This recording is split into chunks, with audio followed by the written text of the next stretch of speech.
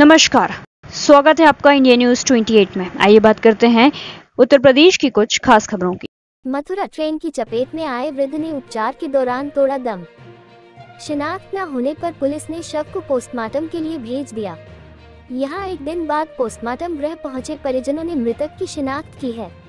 इस सूचना पर सोमवार की सुबह एटा ज़िले के गाँव बिशनपुर निवासी, उसके परिवारी जन पोस्टमार्टम गृह पहुँचे और मृतक वृद्ध की शिनाख्त 50 वर्षीय भानु प्रताप के रूप में की है। वही परिवारी जनों का कहना है कि पिछले कई सालों से भानु प्रताप घर पर नहीं रह रहे थे और उन्होंने संत का चोला धारण कर लिया था, जिस वजह से वह मथुरा वृंदावन रहते थे। कभी कभार उनसे फ़ोन पर बात हुआ करती थी। इसी बीच पुलिस ने उनको सूचना दी कि ट्रेन की चपेट में आने से घायल भानु प्रताप की मौत हो गई है। वही घटना के संबंध में मृतक के भतीजे ने जानकारी दी। मथुरा संवाददाता ब्रिजवीर सिंह जादौन की रिपोर्ट। क्या नाम भैया आपका? संजीव कुमार। संजीव जी इनकी मृत्यु हुई है इनका क्या नाम था? भानु प्रताप। क्या करते थे? ये? ये बाबा थे। कितनी उम्र होगी?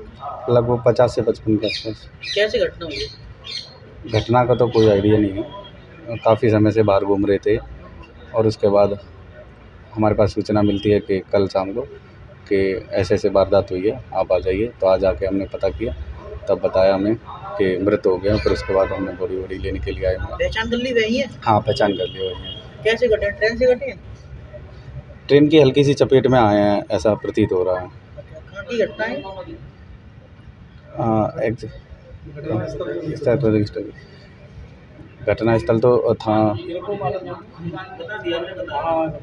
अच्छा घर पर कब से नहीं रह रहे थे? पिछले काफ़ी सालों से नहीं है घर काफ़ी सालों से? हाँ।